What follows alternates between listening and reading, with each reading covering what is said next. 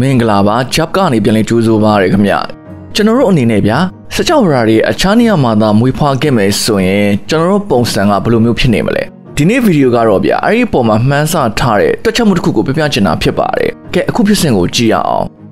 အဲ့ဒီမှာရွှေညီကိုကအတော်ကိုနေရထိုင်ရခတ်နေပါတယ်ကိုယ့်ရဲ့နှလုံးကလည်းပဲမခုံဘူးအဲ့ဒါအပြင်ခြေထောက်တွေကလည်းပဲအရန်ကိုရှည်ပြီးတော့မှပျော့ခွေတယ်လမ်းကိုလည်းဝိုးဝေးလျှောက်ဖို့အတွက်မတတ်နိုင်ပါဘူးကိုယ့်ရဲ့ခန္ဓာကိုယ်မှာရောမျက်နှာမှာကအကုန်လုံးဖောင်းကားနေမယ် မျိုးလုံးတွေကလည်းအပြင်ကိုထိုးထွက်နေတယ်ကိုယ်အနေနဲ့ဘာကူမှရှင်းရှင်းလင်းလင်းမြင်နိုင်တဲ့အနေအထားမှမရှိတော့ပါဘူးဒီလိုမျိုးအခြေအနေမျိုးကယောဂရောဟုတ်ပါသလားအဲ့ဒါကတော့ဗျ0 gravity လို့ခေါ်ရဲစွမ်းငင်အလုံးဝမရှိတဲ့အခြေအနေမှာမွေးဖွားလာတဲ့သူတွေကြုံရမယ့်အခြေအနေဖြစ်ပါတယ်အကြမ်းမြင့်အနေနဲ့အာကာသတဲကအာကာသစကန်တွေမှာမွေးဖွားလာတဲ့သူတွေကတလုံးအဲ့ဒီတိုင်းပဲရှိနေကြလို့ရှိရင်ကဘာပေါ်ကိုရောက်တဲ့အခါအဲ့လိုမျိုးအခြေအနေကိုကြုံတွေ့ရမှာဖြစ်ပါတယ်ကြံတဲ့ဂျိုတွေပေါ်မှာမွေးမဲ့သူတွေကရောကဘာပေါ်မှာမွေးခဲ့တဲ့သူတွေနဲ့သူကောတူနိုင်မှာလား တိတ်ပတ်တဲ့နီးပညာဖွံ့ဖြိုးတိုးတက်လာပြီးနေဖွဲ့စည်းထဲမှာရှိနေတဲ့ဂျိုအားလုံးကိုတွားရောက်အခြေချနေထိုင်နိုင်ပြီလို့ဆိုကြပါတော့ဗျာအဲ့ဒီအချိန်မှာကဘာပေါ်မှာမမွေးဘဲနဲ့ကျန်တဲ့နေရာတွေမှာမွေးခဲ့မယ်ဆိုရင်ဘယ်လိုမျိုးများဖြစ်လာနိုင်မလဲတကယ်လို့ဂျူပီတာဂျိုပေါ်မှာမွေးခဲ့မယ်ဆိုရင်ရောအဲ့ဒီဂျိုပေါ်မှာကဟိုက်ဒရိုဂျင်နဲ့ဟီလီယမ်ဓာတ်ငွေအများစုစိုးမိုးပါတယ်အလင်းရောင်ကလည်းတိတ်မရဘူးဗျဂျူပီတာကဟိုက်ဒရိုဂျင်နဲ့ပြည့်နေတဲ့သမုဒ္ဒရာနဲ့တောင်တူပါတယ်အဲ့ဒါကြောင့်ပဲအဲ့ဒီနေရာမှာရှိတဲ့တရိတ်ဆန်တွေက ရေအောက်မှာရှိတဲ့အကောင်တွေနဲ့ပို့ပြီးတော့မှနီးနီးစက်တူမှဖြစ်တယ်ဗျအမြဲတမ်းမှောင်နေတဲ့အတွက်ကြောင့်မို့လို့မျက်လုံးတွေကလည်းကောင်းကောင်းကြီးဖွံ့ဖြိုးလာစရာအကြောင်းမရှိပါဘူးအဲ့ဒီမှာဗျာကဘာပေါ်မှာမွေးလာတဲ့သူတွေအတွက်ဆိုရင်အဲ့ဒီနေရာမှာအတော့ကိုခက်ခက်ခဲခဲရှင်တန်နေထိုင်ရမှာဖြစ်ပါတယ်။ဘာဖြစ်လို့လဲဆိုတော့ဂျူပီတာမှာရှိတဲ့ကမ္ဘာဆွဲအားဟာကမ္ဘာပေါ်ကဆွဲအားထက်နှစ်ဆခွဲအထိကိုပိုများတဲ့အတွက်ကြောင့်ဖြစ်တယ်ဗျ။အဲ့ဒီနေရာမှာနေထိုင်တဲ့သူတွေအနေနဲ့ပြေးတာလွှာတာခုံတာပေါက်တာဟာအရန်ကိုနှေးကွင်းနေမှာဖြစ်ပြီး ဝိုးဝေးလန်လန်ရောက်မဲ့အနေထားလည်းမရှိပါဘူးနောက်ပြီးတော့ဂျူပီတာမှာကျွန်တော်တို့နေခဲ့မယ်ဆိုရင်တည်တည်ငြိမ်ငြိမ်နဲ့နေလို့ရမယ့်အနေထားမရှိဘူးဗျာဂျူပီတာကအမြဲတမ်းမျောလင့်နေတဲ့ဓာတ်ငွေတွေနဲ့တိစောက်ထားတဲ့ဂျိုတစ်ခုဖြစ်တဲ့အတွက်ကြောင့်မလို့ဗျာကျွန်တော်တို့နေထိုင်တဲ့အိမ်တွေကလည်းပဲရေပြပေါ်မှာရှိတဲ့လေကားတွေလိုမျိုးအမြဲတမ်းလူးလူးလေးလေးရှိနေမှာဖြစ်ပါတယ်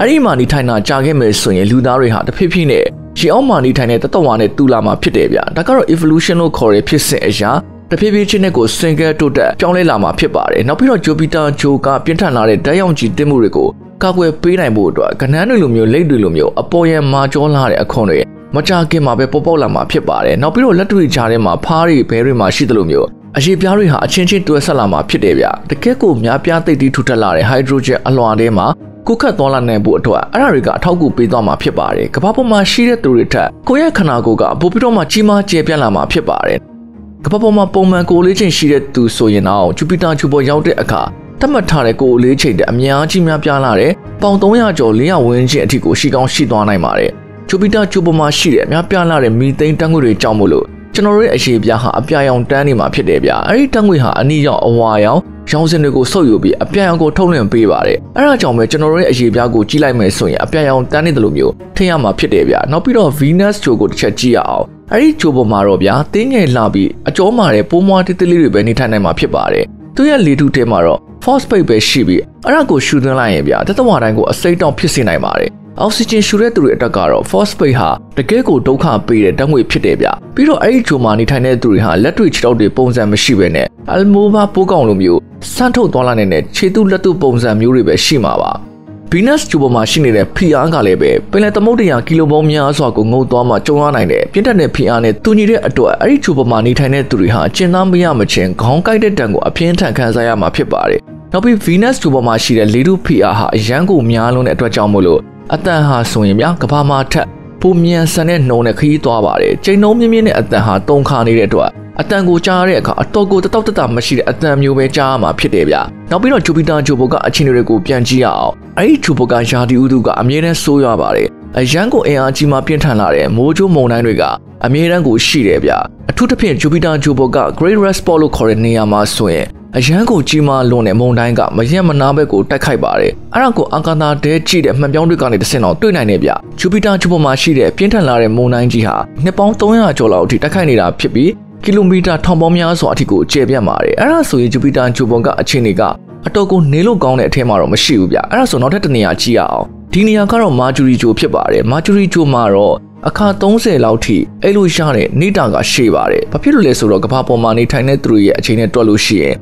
မာဂျူရီဂျိုပေါ်ကတရက်ကကမ္ဘာပေါ်က59ရက်နဲ့တူပါတယ်ဒါပေမဲ့မာဂျူရီဂျိုဟာနေနဲ့အနီးဆုံးမှာရှိတဲ့အတွက်ကြောင့်မလို့သူ့ရဲ့အပူချိန်ကတကယ်ငရဲပြီလို့တောင်ဆိုရမယ့်ပမာဏဖြစ်တယ်ဗျ နေကင်ပိုက်အပူချိန်ဟာဆိုရင်430 degree Celsius လောက်ထိရှိတဲ့အပူချိန်ဖြစ်နေပါတယ်။မာဂျူရီဂျိုပေါ်မှာနေမယ်ဆိုရင်အတော့ကိုအကုန်ကြများပါမယ်။ဘာဖြစ်လို့လဲဆိုတော့မာဂျူရီဂျိုပေါ်မှာအရန်ပူပြင်းပြီးအဲ့ဒီမှာအသက်မသေးပဲရေရှည်နေထိုင်နိုင်ဖို့အတွက်ဆိုရင်တော့အရန်ကိုအဆင်မြင့်လာတဲ့အပူတန်းကိုကောက်ကောက်ခံနိုင်ရရှိတယ်အထဲမှာနေမဲ့တူတွေကိုတည်တည်မြတ်တဲ့အပူချိန်ရှိအောင်ထိမ့်ပေးနိုင်မဲ့နီးပညာတွေစက်ပစ္စည်းတွေကရိယာတွေအများအပြားသုံးဆွဲရမှာဖြစ်ပါတယ်။ နောက်ပြီး Mercury ဂျိုပေါ်မှာအုတ်ကပြန်တွေဟာစစ်ဆက်မပြတ်မိုးရွာသလိုအမြဲတမ်းကျနေတာမို့လို့ဗျာ။ကမ္ဘာပေါ်မှာလိုမျိုးထိကလေးဆောင်းပြီးအေးအေးလူလူလမ်းလျှောက်နိုင်တဲ့အနေအထားမရှိပါဘူး။ဒါပေမဲ့တရင်ကောင်းတစ်ခုတော့ပြောပြချင်တယ်ဗျာ။ Mercury ဂျိုပေါ်မှာနေမယ်ဆိုရင်ရေဟာရှားပါပေမဲ့ရှိတယ်လို့တော့ပြောလို့ရပါတယ်။ဂျိုရဲ့ဝင်ရိုးစွန်းတစ်ခုမှာရေခဲတွေရှိနေတယ်ဗျ။ဒါပေမဲ့အဲ့ဒီဂျိုပေါ်မှာနေရထိုင်ရတာကအရန်ကိုစီကြီးလွန်ပြီးရှားပါလွန်လာတဲ့ရေလိုမျိုးအရင်းမြစ်တွေကိုအကုန်ကျအများကြီးခံပြီးတော့မှဝယ်ယူသုံးဆွဲရမှာဖြစ်ပါတယ်။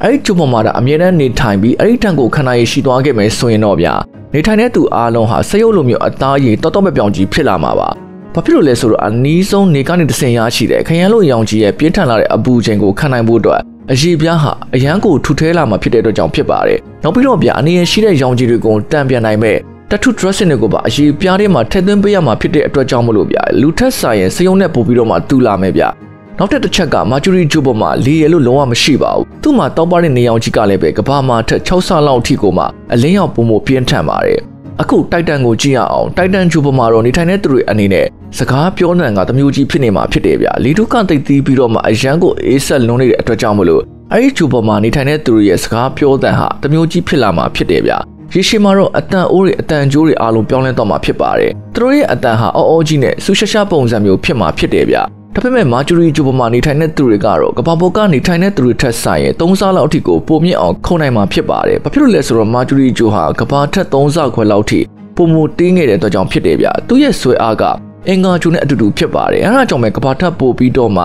စွမ်းငင်အားနေတဲ့အတွက်ကြောင့်မလို့မာဂျူရီဂျိုပေါ်မှာသာကဘာသားတွေနေခဲ့မယ်ဆိုရင်သူတို့ဟာပပပပမြင်မြန်ဆက်ဆက်နဲ့သွာလာလှုပ်ရှားနိုင်မှာဖြစ်ပါတယ်။အဲဒါဆိုရင်ဘလူးတိုဂျိုကိုကျွန်တော်တို့အနေနဲ့တစ်ချက်ကြည့်အောင် ပလူတိုပေါ်မှာနေထိုင်နိုင်ဖို့အတော့ဆိုရင်အတော့ကိုဈေးတက်တာလိမ့်မယ်လို့ပြောလို့ရပါတယ်။ဘာဖြစ်လို့လဲဆိုတော့အဲ့ဒီမှာနေရတာကအတော့ကိုဒုက္ခရောက်တဲ့အတွက်ကြောင့်မလို့နေခြင်းနဲ့တူရှိမှာမဟုတ်ဘူးဗျ။ပလူတိုဂျိုဟာနေကနေတဆင်အဝေးဆုံးမှာရှိတဲ့အတွက်ကြောင့်မလို့ အရန်ကိုအေးဆက်တဲ့အပူချိန်ရှိပါတယ်အဆိုးဆုံးအချိန်မှာဆိုရင်အပူချိန်ဟာ -240 degree celsius အထိရှိနိုင်တယ်ဗျအဲဒါကြောင့်ပဲ Bluetooth ဟာရေခဲတွေနဲ့အမြဲတမ်းဖုံးလွှမ်းနေပါတယ်အဲ့ဒီမှာလေဓာတ်ရောင်ကြီးတွေကပြပြင်းထန်ထန်ကြောက်ရောက်နေတာမို့လို့ဗျအဲ့ဒီမှာနေထိုင်တဲ့သူတွေကရေခဲပြင်အောက်မှာလူနေအိမ်တွေကိုတိဆောက်ပြီးမှနေထိုင်ကြရမှာဖြစ်တယ်ဗျ Bluetooth ရဲ့မျက်နှာပြင်အောက်မှာတော့ရေတွေကိုအရေးပုံစံနဲ့တွင်းနိုင်မှာဖြစ်ပါတယ်အဲ့ဒါကြောင့်ပဲပတ်စံမသုံးနိုင်ဘူးရာဒီဝတ္ထုကိုမမူတဲ့သူတွေအတွက်ကတော့တကယ်ကိုနေလို့ကောင်းတဲ့နေရာတစ်ခုဖြစ်လာမှာဖြစ်တယ်ဗျအဲ့ဒီမှာကအရန်ကိုစွမ်းအားကြီးလွန်တဲ့အပူပေးစနစ်တွေ အောက်ဆီဂျင်ထောက်ပံ့ရေးစနစ်တွေကိုလိုအပ်မှာဖြစ်ပါတယ်ဒါပေမဲ့ Pluto ဂျိုမှာတော့နေအောင်ကြီးဟာမကြိုက်ရောက်တော့ဝေးလံလွန်တဲ့အတွက်ကြောင့်မလို့အဲ့ဒီမှာနေထိုင်တဲ့လူတွေကိုကြည့်မယ်ဆိုရင်မြေကြီးထဲမှာပဲအမြဲနေတဲ့ပွေးတွေလိုပုံစံမျိုးပေါက်လာမှာဖြစ်တယ်ဗျတဘာဝအလင်းရောင်နဲ့တောက်လျှောက်ထိတွေ့မှုမရှိတဲ့အတွက်ကြောင့်ဖြော့တော့ပြီးတော့မှဖွေးနေတဲ့သူတွေမျိုးကိုတွေ့ရမှာဖြစ်ပါတယ်ကပတ်ဆွဲအားကြီးမားလာတဲ့ဂျိုတွေပေါ်မှာဆိုရင်တော့စစ်ကဲစစ်ငယ်ဖွံ့ဖြိုးတိုးတက်လာမှုကြောင့်ကြွက်သားတွေအထစ်ထစ်ရှိနေပေမဲ့ Pluto ပေါ်မှာနေထိုင်တဲ့သူတွေအတွက်ကတော့ရှေ့ရှေ့မှာတဖြည်းဖြည်းချင်းပုံပြက်ပံပြက်ဖြစ်လာမှာဖြစ်တယ်ဗျ ကဘာပေါ်မှာ40ကီလိုဂရမ်ထိလေးတဲ့သူတစ်ယောက်ဟာ Pluto ဂျိုပေါ်ကိုရောက်တဲ့အခါ3ကီလိုဂရမ်ပဲလေးတဲ့အထိကို Pluto ဂျိုရဲ့ဆွဲအားကအရန်ကိုနည်းပါတယ်ဆွဲအားနည်းလို့တဲ့အတွက်ကြောင့်မလို့ပဲချက်သားတွေအရှိုးတွေအားလုံးတဖြည်းဖြည်းနဲ့ကိုပျော့ပြောင်းပျောက်ကွယ်သွားပြီးကြုံနေသွားမှာဖြစ်တယ်ဗျပုံမှန်အနေနဲ့အရက်ကတော့ပုံမရှည်လာမှာဖြစ်ပေမဲ့ကျော်ရိုးကသူ့ရဲ့မူလတောင်ဝင်ကိုမလုံးရတာများတဲ့အတွက်ကြောင့်မလို့ခါကိုင်းသွားမလားလိန်သွားမလားဆိုတာတော့ပြောလို့မရပါဘူးကိုဟာပိပိမပါရှီလမျောကြီးပင်ကူလိုမျိုးပုံစံခြေတံလက်တံနဲ့ဖြစ်လာနိုင်ခြေရှိတယ်ဗျနောက်ပြီးတော့နေအဖွဲ့အစည်းတွေကဂျိုအားလုံးကို ခရီးသွားလာနိုင်တဲ့အခြေအနေတစ်ခုရောက်လာပြီဆိုရင်ဘလူးဒိုဂျိုပေါ်မှာနေတဲ့သူတွေကတကယ်ငမွဲကံမကောင်းတဲ့သူတွေလိုပဲအများစုကတတ်မှတ်ကြမှာဖြစ်ပါတယ်။ဒါဆိုရင်အခုစေတန်ဂျိုကိုကြည့်ရအောင်စေတန်ဂျိုဟာတဘာဝအရင်းမြစ်တွေ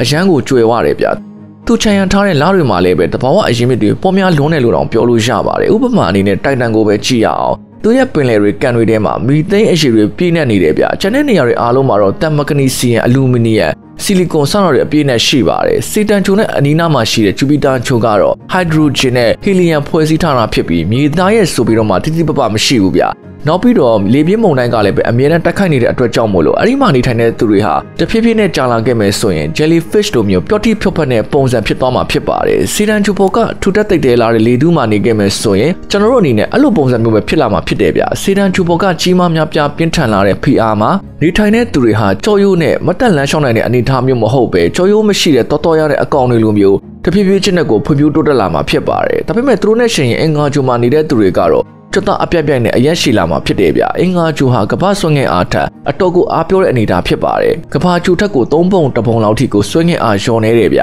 ကမ္ဘာဂျိုမှာတော့နေကကြောက်ရောက်လာတဲ့နေအောင်ကြီးတွေကိုကောက်ွယ်ပေးဖို့အတွက်မလနင်လို့ခေါ်တဲ့တပ်သမျိုးကိုထုတ်ပါတယ်ဒါပေမဲ့အင်္ဂါဂျိုပေါ်မှာတော့မြေကြီးတွေဟာတန်ကြီးလိုမျိုးအနီရောင်နဲ့အမြဲတမ်းပြည့်နေနေတယ်ဗျအင်္ဂါဂျိုဟာတထုရဲ့အရက်ပေါ်ကျွဲတာဖြစ်ပြီးဆက်လက်နဲ့ပစ္စည်းထုတ်ဖို့အတွက် လိုအပ်တဲ့တဘာဝအရင်မြစ်တွေအတော်ကိုပေါ်ကျွယ်သွားပါတယ်အဲဒါကြောင့်မလို့ပဲအနီရောင်ဂျိုအင်္ဂါဂျိုကိုစစ်နက်ဖျားရဲ့ဂျိုလိုအများစုကခေါ်ကြတာဗျနောက်ပြီးတော့ဗျဆက်နက်နဲ့ပစ္စည်းတွေထုတ်လို့ဖို့အတွက်စစ်တိုက်ဖို့အတွက်အရန်ကိုချင်းနေပေးတဲ့ဂျိုတစ်ခုလည်းဖြစ်နေပါတယ်ဒါကတော့ဗျာကျွန်တော်တို့နေဖွဲ့စည်းထဲမှာရှိတဲ့ဂျိုမာနေထိုင်သူတွေအနေနဲ့ဘယ်လိုမျိုးကြုံတွေ့ရနိုင်လဲဘယ်လိုပုံစံဖြစ်လာနိုင်သလဲအဲဒီဂျိုပေါ်မှာရှိတဲ့အနေထားကဘယ်လိုမျိုးရှိလာနိုင်လဲဆိုတာကိုပြပြပေးတော့တာပဲဖြစ်ပါတယ် အခုအကြောင်းနဲ့ပတ်သက်ပြီးတစိုးတစ်ခုဖြစ်ဆွက်လို့ရှင်တော့ comment ကိုသာအယောင်လန်းခဲ့လိုက်ပါခင်ဗျာဗီဒီယိုကိုအစမှဆုံးတိုင်းကြည့်ရှုအားပေးကြတဲ့အတွက်ကျေးဇူးအထူးတင်ရှိပါတယ်ခင်ဗျာ